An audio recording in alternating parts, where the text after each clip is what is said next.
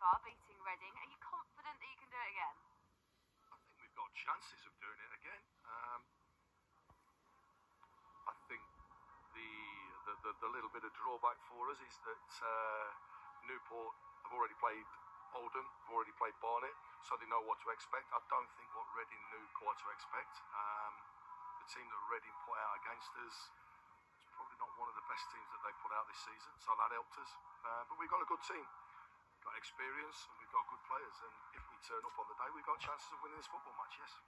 You said uh, before the match to media that you've gone and watched Newport uh, play in midweek.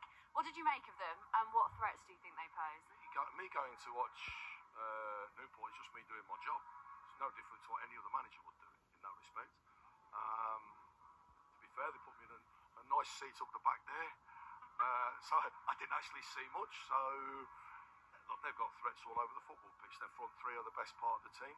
Their midfield are decent, and their back three don't stand on ceremony. So this could, no disrespect to Newport, but this could well be a typical National League game or a typical League Two game, whichever way you want to put it. And look, Eastleigh have never made it through to the fourth round of the FA Cup before. How much would it mean if you managed to do that today?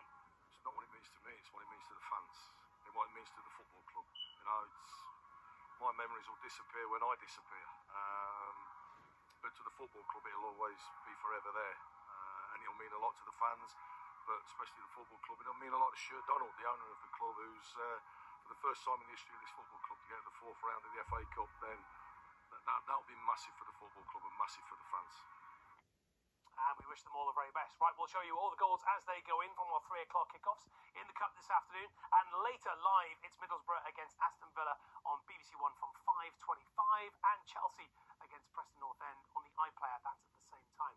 The Cup weekend, of course, started on Thursday when Crystal Palace and Everton drew nil-nil. And there were three ties last night.